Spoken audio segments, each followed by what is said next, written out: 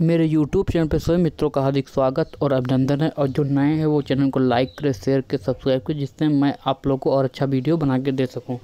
तो U P N H M दो हज़ार बाईस के नवंबर में जो वैकेंसी आई हुई थी, छब्बीस ग्यारह नवंबर में, छब्बीस ग्यारह, छब्बीस नवंबर दो नोटिफिकेशन आया हुआ था। उसमें स्टाफ नर्स की भी वैकेंसी थी, स्टाफ नर्स की जो वैकेंसी थी, वो देखिए आप लोग अलग अलग अलग प्रोग्राम में अलग अलग पद थे एन में आपके स्टाफ नर्स के छः सौ चौरासी पोस्ट थे डी एच एस प्रोग्राम में आपके स्टाफ नर्स के तीन सौ छिहत्तर। इसी प्रकार अलग अलग पद अलग अलग प्रोग्राम में अलग अलग स्टाफ नर्स के पद थे।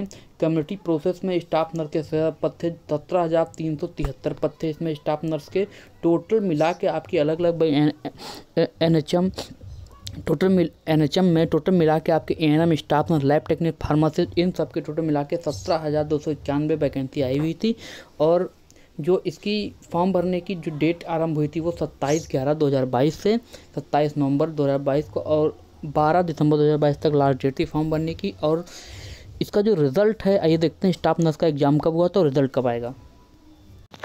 आपका जो ये नोटिफिकेशन है, ये देखिए, आपका स्टाफ नर्स के रिगार्डिंग स्टाफ नर्स का जो आपका एग्ज़ाम हुआ था, वो 18 जनवरी 2023 को शुरू हुआ था और 18 उन्नीस बीस जनवरी तीन दिन आपका एग्ज़ाम हुआ था सीबीटी मोड में, लखनऊ में अलग अलग स्थान पे।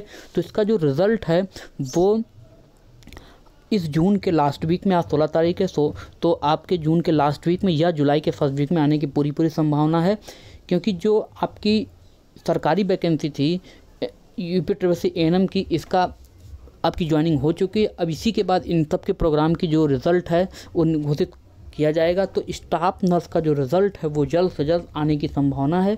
जून लास्ट में, जुलाई के फ़र्स्ट वीक में।